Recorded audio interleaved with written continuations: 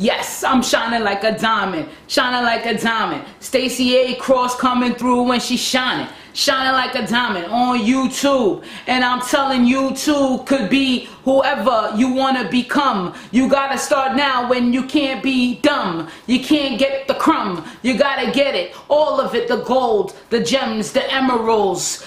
And then add some more decimals, increase your bottom line fill your pop line. I'm coming through shining like a diamond. It's Valentine's Day and I am Stacy A. Cross. There's no E in my name. I had to give you that flow. Gotta give you that energy though. You know who I am. If you don't, know that I'm giving away these shirts and the link is in the description. The link's in the description. I'm giving away these shirts. The reason why it's so bright back there because it's a beautiful day, man. The sun's shining and I feel great. My cells feel great. How does your cells feel? Feel great? Feel open? It's crazy though because a lot of people are dying with this flu virus. It's crazy. It's like a little mini epidemic. You know, I don't get the flu shot. I don't know who does, but stay safe out there. You might even have to get that that mask. You know, coming off the plane, they come off these international planes and they got that mask on. They're like, man, I ain't messing with your airspace. Okay, so just uh, remain safe out there because I, I heard about it. I actually know someone that had kidney failure due to having that mucus. Mucus is the cause. Okay, mucus, fluid things that harbor and let that bacteria and virus have a place to live, you know, flourish. So stay safe out there, drink lots of water, fluids, fill yourself up with that. You don't need orange juice, okay? It was a joke, all right? They, they joked you. They put a spell on you. You don't need orange juice, straight up natural spring water will do the job done. If you want to make it more alkaline, throw a piece of lemon in there. I'm here to talk about Valentine's Day. It is Valentine's Day. I don't know if you're going home to the, the, the bed full of rose petals. I don't know. Maybe. Maybe you come home to that nice steak dinner or maybe you're taking it out for the night, going up to a five-star restaurant on the top of the world, looking out the window like, yeah, we did it. Glass click. Um, whatever the case. I'm telling you though that you have to fall in love with yourself. I did a Facebook live over on Facebook. Links in the show notes. If you don't have me on Facebook, what the hell? Okay. I did a Facebook Live over there and said give three uh, three ways, three ways that you could fall massively in love with yourself. Damn, was I looking in the wrong place? Fall massively in love with yourself right now. The first thing that you have to do is get honest with yourself. When I was addicted to gambling, okay, for nine years straight, depressed, I'm telling you, I say it all the time because I can't even believe my own ass was addicted to gambling. I was ashamed of it. No one didn't know I was hush, hush, hush about it. Until someone found out, I was like, damn, I've been found, I've been had. Um, I had to get real.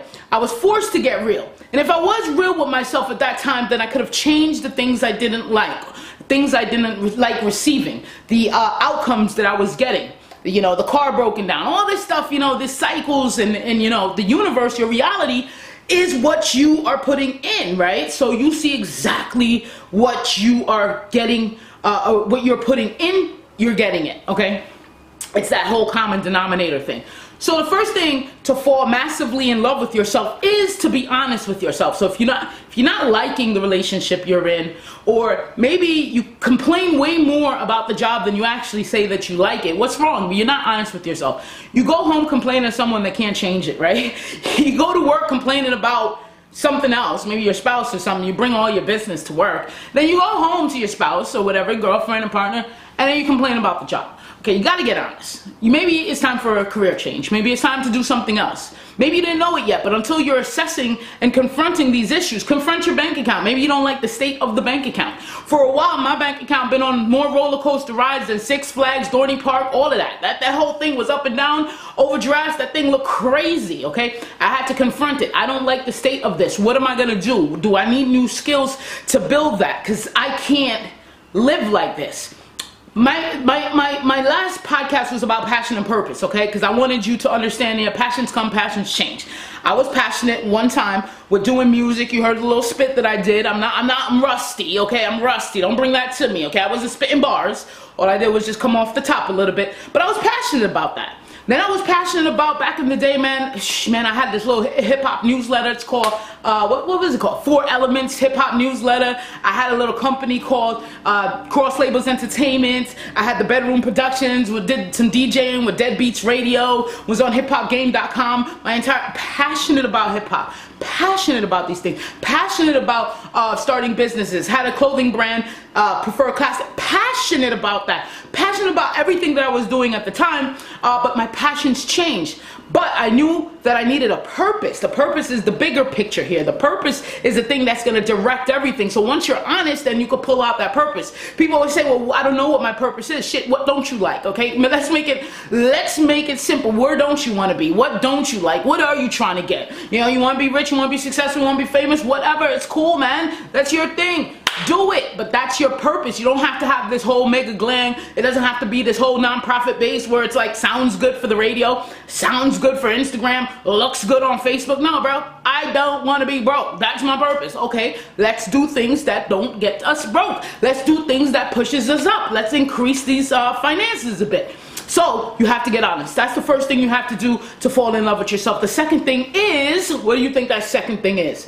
You think it's rose petals? You think that you have to put your love in someone else? You think you have, hey, it's saying no. Okay? Say straight up simple. It's saying no way more than you say yes. How do you do that? Say no. Shit, no, I can't do it. Okay? I don't have the time. Why don't why do you think that you need to say no way more than you say yes? I'll tell you why. Quick and easy. If you keep saying yes, you're putting all your energy, effort, and you're expending all of this juice out into something that doesn't even benefit you, it's helping someone else. I know that, yes, okay, let's be real, we have to help people out. I, I help my grandmother, I help this. Um, in my 30 day program, the uh, Building Blocks to Success, which isn't out yet, but if you want more information on it, hit up hello at thecomfortkillers.com. Maybe you could be a beta user or something. My 30 day program, I explained what I was saying yes so many times. My aunt needed help with her, her master's degree, uh, nursing master's program, and it needed, she needed to come up with this. My brother wanted me to write a paper. Don't shh. Okay, shh. I don't, I'm not getting the diploma, right? I'm not gonna get that certificate on my wall, but I'm saying yes. So I'm there every week, just pounding. I'm researching. I'm doing the thing. I gotta go move tra trash out of someone's yard because I said yes. Little did I know that the trash pickup and the trash disposal costs money. Okay, you can't just go toss freaking home remodeling trash out into anybody's dumpster. You get a fine. I didn't know this stuff. I said yes. Just so, yes, open, yes, yes, I'll do it. Then by the time you get home and you want to plan and do your thing, you're tired, you're burnt out, you're lethargic, you have no energy. Now you don't have no time. Now you complain, you feel bad.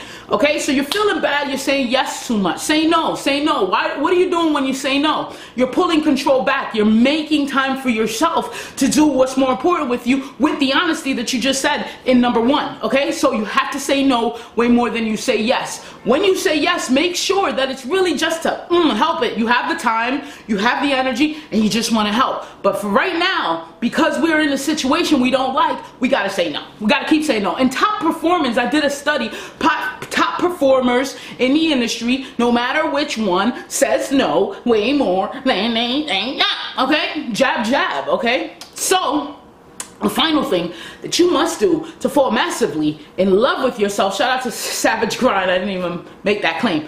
Uh, shout out to Joseph Daniels, Savage, Savage Grind. But the last thing that you gotta do is you gotta be around smarter people, okay? You cannot be the smartest one in the room. That has not worked for you, right? Hasn't worked for me. I was the smartest one in the room. I always was, kind of. You know, like, damn, I kind of know this. All right, uh, damn, I'm helping. You know, what's going on? So I know now that I have to be the dumbest one in the room because if I'm the smartest one in the room, then I'm sure as hell the dumbest one in the room. So be around people that you have more than you, that, that are doing things that you want to do. How do you find these people? Maybe you need to get into a network event. Maybe you need to hit up Meetup. Maybe you need to go to, to a couple uh, seminars. Maybe, you know, you got to extract these people. Maybe you got to go to Toastmasters. Maybe you got to change up your friendship line. Maybe you got to scroll through your phone and say, no, no, no, no, no, no. I'm smarter than you. I'm smarter than you. I'm smarter than you. So maybe you got to change that up because if you are the smartest one in the room, what are you really learning? You're not learning, you're not growing, okay? So those are three things for you to massively fall in love with yourself today on Valentine's Day. Spread the rose petals for yourself you know, you make a nice dinner for yourself, self-care and all that beautiful stuff. But I love you today, and I want you to know that my book, my book, baby, is here. Are you ready to pre-order it? Are you ready to learn everything I did and those tools, techniques, methods to change your life using what you already have inside. That's what the book is about. Using everything inside. Okay? We're not we're no longer looking at the externals. We're all pulling at the force within, okay? It's like Darth Vader, the force within. Feel the energy? I feel the energy. I would love if you if you support me, support my mission, support the book, support the Comfort Killers. You are a Comfort Killer, and I'll check you later. Book everything. All you need to know is in the description. Peace. I am Stacy A. Cross. There's no E in it.